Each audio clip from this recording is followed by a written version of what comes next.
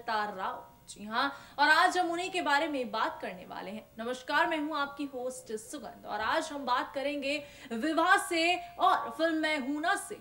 अपने हुस्न के जलवे दिखाने वाली, अपनी मासूमियत से लाखों लोगों को दीवाना बनाने वाली एक्ट्रेस अमृता राव के बारे में। दरअसल अमृता राव पिछले कई सालों बाद एक बार फिर से उन्होंने बॉलीवुड में कम किया। फ़िल्म ठाकरे से उन्होंने एक बार फिर से धमाकेदार एंट्री की है। फ़िल्म बॉक्स ऑफ़िस पर काफ़ी ज़्यादा सफल साबित हुई तो वहीं हाल ही में अमृता राव ने अपनी फ़िल्म की सक्सेस के बाद मीडिया से काफ़ी सारी बातचीत करी है। तो फिर आइए डालते नज़र आज की हमारे इस खास रिपोर्ट पर और देखते हैं कि अमृता राव ने क्या कुछ कहा है मीडिया से अपने एक्सपीरियंस को लेकर, अपनी फ़िल्म को लेकर और साथ ही साथ अपनी पर्सनल लाइफ को लेकर। फ़िल्म विवाह से बॉलीवुड में अपनी एक अलग छाप छोड़ने वाली एक्ट्रेस अमृता राव पिछले काफ़ी वक्त से बॉलीवुड से गायब हैं। लेकिन आपको बता दें कि काफ़ी सालों बाद अमृता राव ने एक बार फिर बॉलीवुड में धमाकेदार एंट्री की फ़िल्म ठाकरे से, और फ़िल्म ठाकरे में अमृता राव की एक्टिंग को दर्शकों ने काफ़ी ज़्यादा पसंद किया। अमृता राव की खूबसूरती, उनकी मासूमियत से हर कोई उनका दीवाना है, और फ़िल्म ठाकरे में उन्होंने मीना ताई का किरदार निभाकर हर किसी को अपना दीवाना बना दिया। और वाकई बॉलीवुड में उन्होंने जिस तरह से कम किया, वो वाकई काफ़ी ज़्यादा धमाकेदार था। फ़िल्म की सक्सेस के बाद हाल ही में अमृता राव ने मीडिया से काफ़ी सारी बातचीत करी है। मीडिया से बातचीत के दौरान उन्होंने इसका एक्सपीरियंस अपनी पर्सनल लाइफ और हर एक चीज़ को लेकर काफ़ी सारे किस्से सुनाए। और आखिरकार उन्होंने ये भी बताया कि वो बॉलीवुड इंडस्ट्री से इतने सालों तक कहाँ गायब थी। आइए आप भी देखिए क्या कुछ खास रहा हमारे इस वीडियो में। खास करके देखिए नवाज़ हैं सब सब ये ज़िक्र करते भी हैं लेकिन उसके बावजूद आपके किरदार को बड़ा सराहा जा रहा है। क्या उम्मीद की थी कि इतने कम वक्त के लिए आप स्क्रीन पर रहेंगे लेकिन अपनी मौजूदगी दर्ज करा पाएँगे? एक्चुअली uh, मुझे तो पहले से ही पता था कि ठाकरे जो है वो uh, बाला साहेब ठाकरे की पॉलिटिकल जर्नी है। It's not as much about the personal you know rapport sweet hearts थोड़ा सा थोड़ा सा। हंसना कम कर देंगे आप लोग। I'll do it again. मुझे पहले से ही पता था कि ठाकरे जो है वो बाला साहेब जी की पॉलिटिकल जर्नी के बारे में है not as much about the personal life of Meena Tai and Bala Saheb but Meena Tai जो थी वो बाला साहेब जी के ज़िंदगी में उनका जो वजूद था, उनकी जो मौजूदगी थी, सहारा था, वो बहुत बहुत अहम था। ये मुझे पहले से ही संजय राउत सर, हमारे प्रोड्यूसर एंड ऑफ़ कोर्स निर्देशक अभिजीत पांडे ने बताया था कि मतलब मातोश्री की जो एक्चुअली जो माँ साहिब थी उन्होंने जब बाला साहिब ने अपनी पॉलिटिकल महाराष्ट्र के यू नो लोगों को सर्विस दिया अपने मातोश्री के दरवाजे खोले लिटरली तो माँ साहिब ने मा, मातोश्री को संभाला। सो मेरे लिए ये बहुत अहम एक मौका था एक ऐसे औरत को पर्दे पर लाने के लिए जो हमेशा मीडिया के सामने आना पसंद नहीं किया उन्होंने।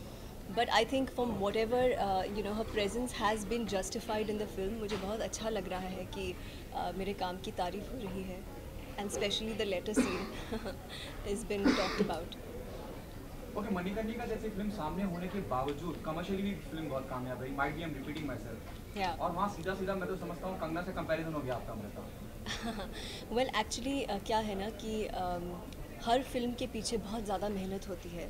और and it's not only about the faces that you see in the front बहुत बहुत फैमिलीज़ uh, बहुत लोगों का मेहनत होता है। So I am so happy that both the film are doing well Manikarnika is also doing very well equally well and Bal Thackeray is also doing well both the film were about strong leaders who fought for their conviction मतलब उन्होंने uh, देश के लोगों के लिए uh, एक लड़ाई या जंग जीत जीता है उन्होंने। So I think I am so happy that both the film are doing equally well वो जो एक खास सीन है ठाकरे में उसका बड़ा ज़िक्र करा जा रहा है बड़ी तारीफ़ करी जा रही है जो वो लेटर बाला साहब ने अपनी पत्नी माँ साहब को लिखा था उस सीन की बड़ी और ट्वीट भी करे जा रहे हैं आपको लेके कि so many people who impressed by the performance of yours क्या कहना चाहेंगे? और well, क्या आप कर रही थी आपको महसूस था कि इतना लोग पसंद करेंगे इतना रिलेट करेंगे? वेल एक्चुअली वो सीन uh, वो जो लेटर रीडिंग सीन है जो बाला साहेब जी का पत्र आता है मीना ताई जी को और वो जो पढ़ती है और भावुक हो जाती है वो सीन जब मुझे अभिजीत पांडे ने सुनाया था तभी मुझे पता था कि ये सीन में बहुत दम है। Uh, जब हम सीन को शूट uh, कर रहे थे तो यू नो काफ़ी सारी दिक्कतें हुई फोकस गया और मैं मैं कोशिश करती हूँ या पसंद करती हूँ कि इमोशनल सीन्स पहले ही शॉट में ओके हो जाए बिकॉज़ बार बार रोना और अपने आप को फ्रेश करना और फिर से रोना मुश्किल हो जाता है। बट उस दिन थोड़ा सा टेक्निकल एरर्स हो रहे थे तो मुझे अभिजीत सर ने बहुत सपोर्ट किया just to keep myself in the right frame of mind so I could do the scene और उस सीन की बहुत तारीफ़ हो रही है। काफ़ी क्रिटिक्स ने भी उस सीन को मेंशन किया है। मुझे कल लेजेंडरी एक्टर बिस्वजीत जी ने इतना खूबसूरत ट्वीट भेजा and lot of like everybody is talking about it so it feels really amazing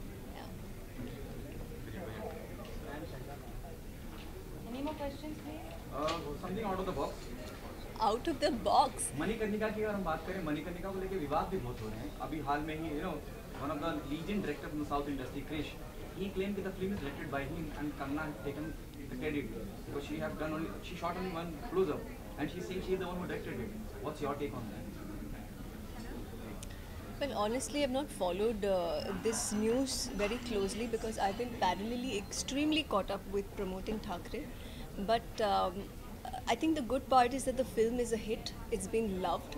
Kangana's work is being loved, and everybody's presence has been appreciated. So I'm sure everybody will benefit from the success of the film. Okay, और आपने अभी कुछ दिन पहले एक statement दिया है where you said कि you are considered for a film. Then somebody else, you know, some star kid came in the picture and you are asked to leave. If you can comment on this. और अब आपको क्यों लगा ये जरूरत है क्योंकि ना अब लोग बोलने लगे हैं कहने लगे हैं बात वेल एक्चुअली यू नो बहुत अच्छी बात है कि हम ऐसे आज uh, एक समाज में जीते हैं जहाँ पे डिप्लोमेटिक होके जीना is suppose to be not so much is not it's not so much in trend I guess uh, and it's not about trend I guess it's it's it's not appreciated anymore uh, diplomacy uh, is good to an extent but people are uh, gathering the courage to talk about experiences that can help others and use platforms strong such as the media to uh, you know bring about issues that can really help others so uh, yes I had mentioned in the course of मेरे जब मैं interviews दे रही थी तो मैंने ये जिक्र किया था कि uh, मुझे uh, एक फिल्म में replace किया था uh, because some sugar daddy had picked up the phone and one of his relatives was cast instead of me which is okay that's fine with me मुझे उससे कोई problem नहीं थी but uh, मेरा बस इतना था कि director ने मुझे uh, मैसेज करना चाहिए था या अच्छे तरीके से प्रोफेशनली कम्युनिकेट करना चाहिए था कि because of whatever reasons not this film but may be will approach you for the next film but जब डायरेक्टर से कोई मैसेज नहीं आया या कुछ नहीं मुझे पता भी नहीं था uh, और ऐसे अक्सर होता है so you know the way they do it is a little disappointing and it hurts yeah that's all I had to say. Do you, do you have responsible uh, nepotism because of your, of your absence since last seven or eight years? Do you have responsible Well, I will not uh, say that. It will be very unfair to say that. Um, you know, I think uh, talent is something uh, is very important to survive in the industry. Um, of course, there could be like some uh, opportunities that you can miss out on because uh, you know, um, definitely star kids and the way they can promote themselves or they can network, actually network at another level that's uh, not comparable. I mean, you can't compare that compare that to a rank outsider who comes with no connections, uh, which is normal actually. It's not it's not their fault. I, I think the way I look at it is they are destined with that silver spoon or the golden spoon. Uh, we have to work harder, but eventually it's talent. Yeah. Thank you.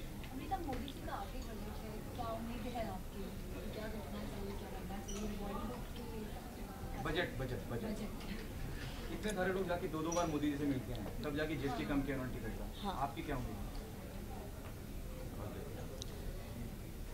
Well well, film uh, industry से हूँ तो obviously uh, मुझे लगता है कि film uh, जब बनती है तो it is a very unpredictable medium you know कभी कभी बहुत अच्छी फ़िल्में बनती है पब्लिक एक्सेप्ट नहीं करती। So it is a risk for everybody who is involve with that project so nevertheless जब टिकट के प्राइसेस कम होते हैं या फिर कोई जीएसटी या ऐसे एप्लीकेबल टैक्सेस कम होते हैं तो it is a big relief for an industry because this is not a very secure industry it comes with you know it is a very obscure and